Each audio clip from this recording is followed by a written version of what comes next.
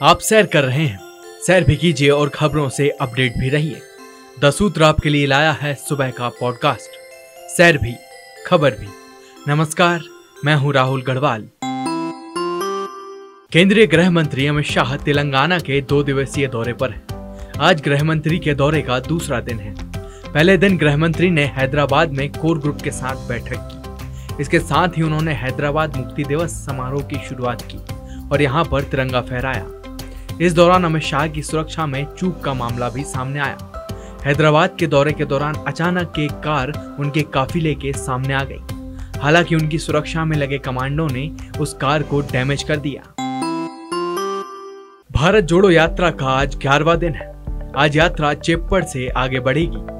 शनिवार को भारत जोड़ो यात्रा ने 12 किलोमीटर का सफ़र तय किया। सुबह यात्रा की शुरुआत करुणागपल्ली के पास पुथैया काबू जंक्शन से हुई।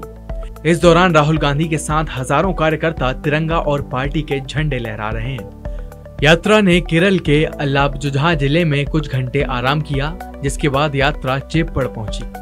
यहाँ कांग्रेस नेता राहुल गांधी ने सभा को संबोधित किया। मध्य प्रदेश में मौसम विभाग ने एक बार फिर बारिश का अलर्ट जारी किया है। बीते 24 घंटे के दौरान 24 से ज़्यादा जिलों में पानी गिरा। मौसम विभाग ने अगले 24 घंटे के दौरान भोपाल समेत 18 जिलों में येलो अलर्ट जारी किया है। इन शहरों में बारिश हो सकती है। हालाँकि इसके तीन दिन बाद मध्य प्रदेश में बारिश पर ब्रेक लगने के आसार है। 21 और 22 सितंबर को भी प्रदेश भर में बारिश होने की संभावना है। पश्चिम नेपाल में भारी बारिश के चलते अछाम ज़िले के कई हिस्सों में भूस्खलन हुआ। हादसे में अब तक 17 लोगों की मौत हो चुकी है और 6 लोग लापता हैं। एक अधिकारी ने बताया कि राहत बचाव कार्य अब भी जारी है। यहाँ लगातार बारिश के कारण बिजली गुल है, सड़कें टूट गई हैं और जनजीवन अस्त व्यस्त हो गया है। बिहार के डिप्टी सीएम तेजस्वी यादव को आईआरसीटीसी घोटाले में दी गई जमानत को रद्द करने के लिए सीबीआई दिल्ली में स्पेशल कोर्ट में पहुँच गई।